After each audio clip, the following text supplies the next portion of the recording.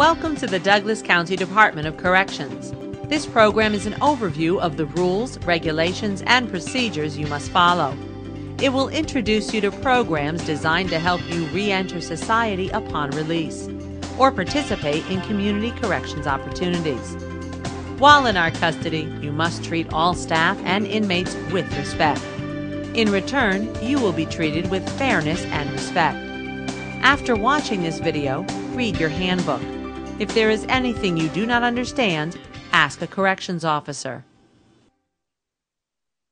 Admission Upon arrival, your clothing, personal property, and valuables will be stored and you will be given an itemized receipt.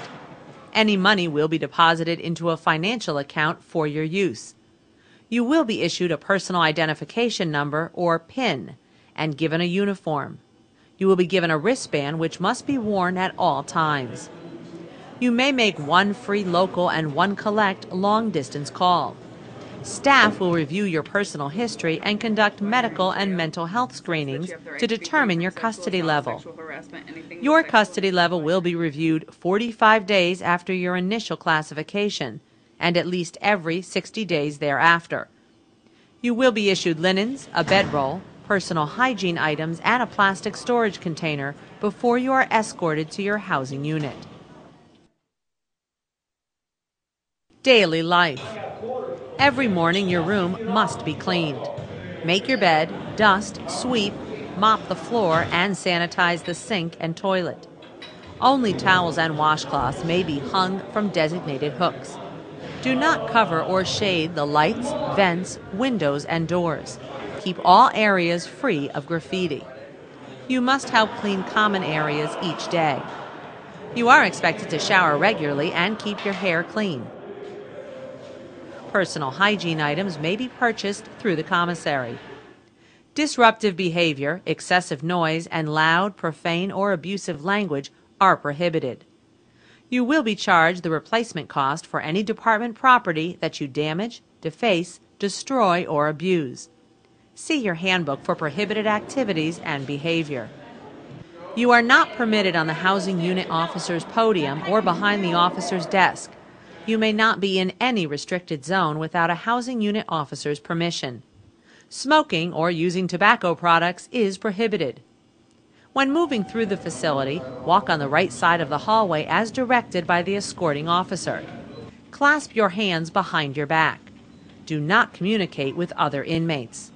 Lockdown, gentlemen! Time for count! Emergency drills and counts will be conducted on a regular basis. Follow the directions of your housing unit officer and staff. During counts, show your wristband. Meals are provided three times each day and must be eaten in designated areas. During meals, wear uniforms, shoes, or shower shoes. Leftover food may not be kept in rooms, beds, or lockers. Trays, utensils, and food containers with leftovers will be returned to the kitchen. Special medical diets must be approved by the medical staff.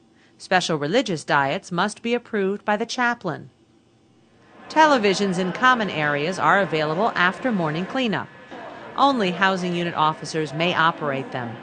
Television sound stays off. A radio with earphones can be purchased through the commissary and tuned to the television. Outdoor recreation is provided one hour per day. Telephones. Telephones may be used upon request to a housing unit officer and as the housing unit schedule permits, except during counts, meal times, and lockdowns. Calls are limited to 15 minutes. Use your PIN number for all calls. Keep your PIN number confidential. Do not give it to another inmate. TTD, TTY phones for the deaf are available through the housing unit officer. Mail. Mail is available Monday through Saturday, excluding holidays. All incoming mail will be opened and searched for contraband. Legal mail will be opened in front of you. Incoming and outgoing mail must be clearly marked with the inmate's full name, data number, and the following address Douglas County Department of Corrections, 710 South 17th Street, Omaha, Nebraska 68102. If any of this information is missing, mail may be returned to the sender. Finances Every inmate has a financial account to purchase commissary items or pay bonds and court costs. Family and friends may deposit funds to this account 24 hours a day, 7 days a week. Money received by mail will be deposited in your account. We accept postal and Western Union money orders, cashier's checks from local banks, and cash. No personal checks will be accepted. Funds may be released to individuals on your approved visiting list. Money may never be transferred to another inmate's account. You can request an account statement once a month from the Records Department. Commissary $50 worth of items may be purchased each week from the commissary using funds from your account. $75 worth of debit phone time may also be purchased. You are responsible for the accuracy of your order. All items must be stored in your storage bag. Inmates without money may request hygiene products, paper, and envelopes from the commissary. Gambling, borrowing, loaning, giving, trading, bartering, or selling items is prohibited. Visits. You are encouraged to visit with family and friends. Visits are conducted through a video visitation system and are conducted on a first come, first served basis. Only those on the inmate's approved visitor list may visit. To add a visitor to your list, request a visitation request form from the housing unit officer. Visitors under the age of 18 must be accompanied by an adult legal guardian whose name is on the inmate's approved visiting list. Each week you are allowed two 30 minute clergy visits and two 60 minute personal visits. Transportation information for visitors is available upon request. Attorney visits must be coordinated through staff. All personal visits are monitored. Refer to your handbook for more information about the visitation guidelines. Medical needs. Emergency medical, dental, and mental health care is provided 24 hours a day, 7 days a week. For emergency care, contact the housing unit officer. To receive non emergency medical care, mental health needs, or dental services, complete a request form. List your symptoms or reasons for the request and put it in the medical mailbox. Medical staff will schedule a sick call. You know, that one looks fine. Pregnancy management services are available upon request. Medical staff distributes medication as prescribed. Stay in your room or bed during medication call. Bring a cup of water to take the medication and present your identification band to medical staff. You must take your medications in front of the staff. Palming, hiding, storing, trading, or selling medication is prohibited. You may not have prescription medication without medical approval.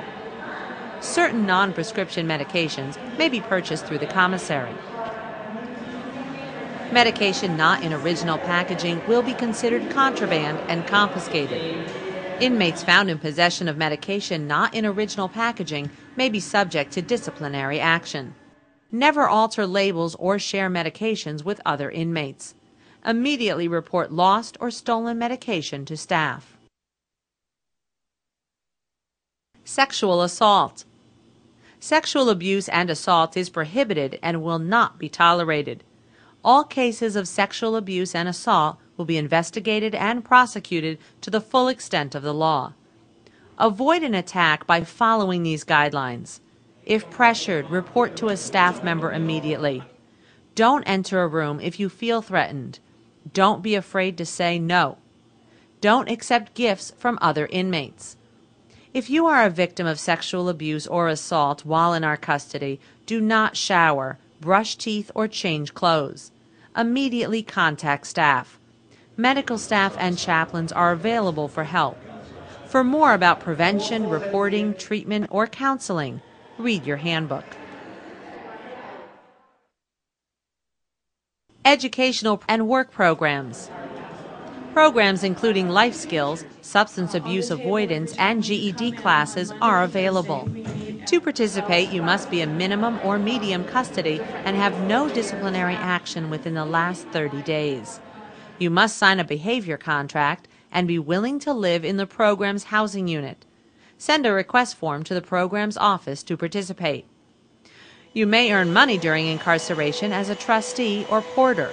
Eligible inmates will receive training before beginning work. To become a trustee, submit a request to the classification office. To become a porter, submit a request to the case management office. See your handbook for requirements, standards, and job duties. Library and legal. To request library materials, submit a request to the library. Only one item per request is allowed.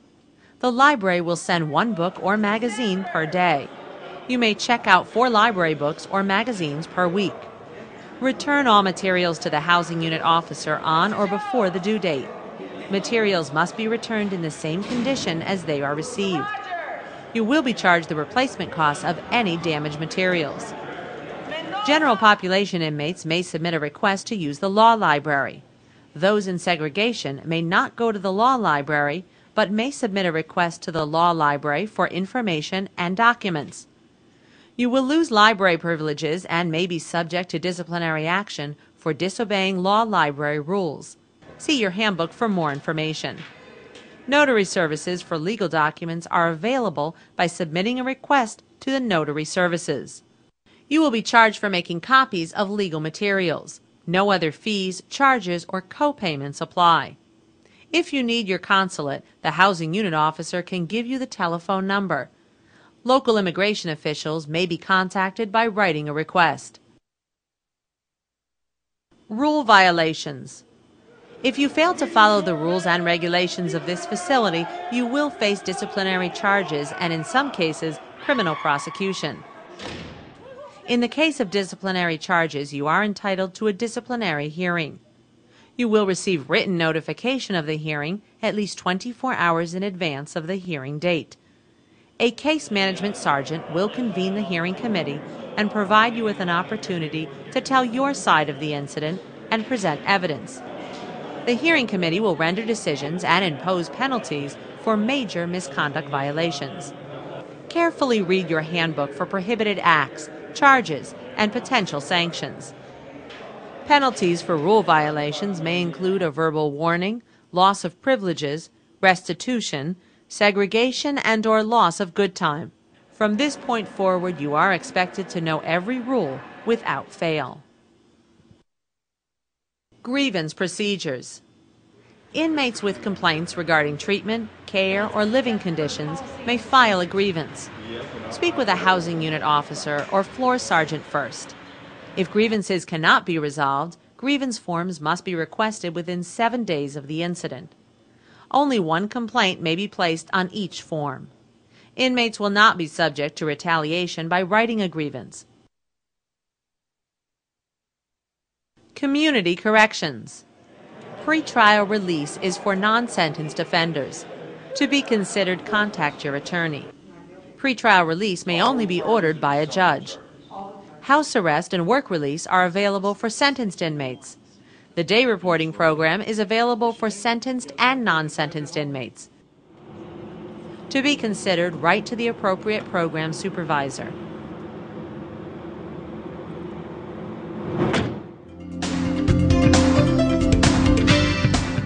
The rules of this facility have been designed for your safety and the safety of those who live and work here. Be respectful to staff and other inmates. To make the most of your stay, take advantage of education and work programs. If you cannot read, tell a staff member so he or she can explain the information in the inmate handbook. For questions regarding this video, your handbook, or any other matter, please ask a correction staff member for assistance.